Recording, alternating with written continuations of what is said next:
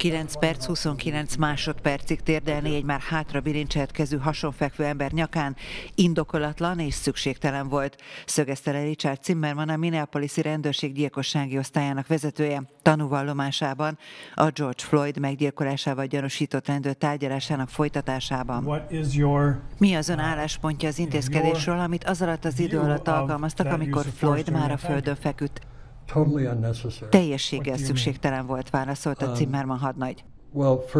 Mit ért ez alatt? Uh, Először is földre kényszeríteni arccal lefelé és rátérdelni nyakára ilyen hosszú időn keresztül egyszerűen indokolatlan uh, volt. Nem látom okát, hogy miért érezték uh, volna veszélyben magukat a rendőrök, ha egyáltalán ezt um, érezték, folytatta a gyilkossági osztályvezetője. A hadnagy azt is kijelentette, hogy a szabályzat szerint, amint az illető kezére a háta mögött rákerül a bilincs, azonnal fel kell állítani a hasonfekvő testhelyzetből. A védelem szerint Sover rendőr úgy járt el, ahogy ilyen helyzetekre kiképezték, és Floyd halálát nem az intézkedés, hanem az egészségi állapota okozta.